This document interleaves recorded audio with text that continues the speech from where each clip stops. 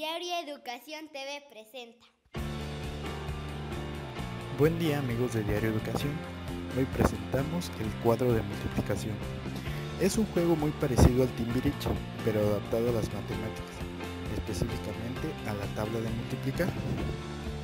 El juego de poner puntos en una hoja cuadriculada poner la inicial de tu nombre para ganar puntos, ahora lo jugarás multiplicando con dados.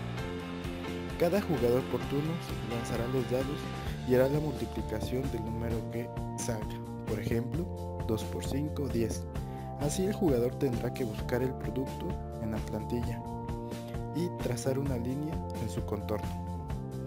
Cada vez que un jugador complete el contorno de un cuadrito, lo pintará de un color distinto al oponente. Por supuesto ganará el jugador que obtenga más cuadritos.